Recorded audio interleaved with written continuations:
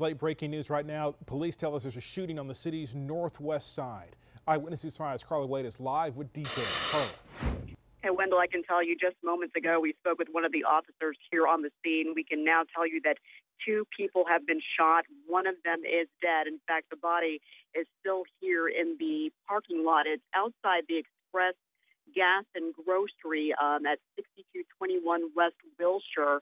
Um, the body is actually near one of the gas pumps. Um, there's been quite a lot of activity out here um, because officers have been trying to disperse quite a large crowd that has gathered across the street at the Lakeside Village apartment. Um, apparently, some of those people um, knew the victim that, that was here, were trying to get into the area that police had cordoned off, and so police officers rushed across the street to try and keep that crowd in check over there.